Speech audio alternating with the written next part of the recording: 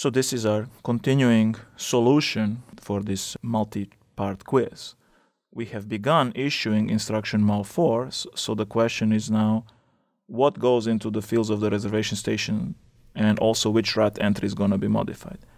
The modification of the RAT entry is going to be easy because it's going to be the RAT entry for R1. So the correct answer here is R1. The RAT entry for R1 is going to be modified. And we modify it with ROB4. Before we do that, however, we need to read out what is the right content for R1 and R2, and we find that it's ROB2 and ROB1. So the answer here is going to be that this reservation station entry for the multiplication is going to have two tags for R1, ROB2, for R2, ROB1.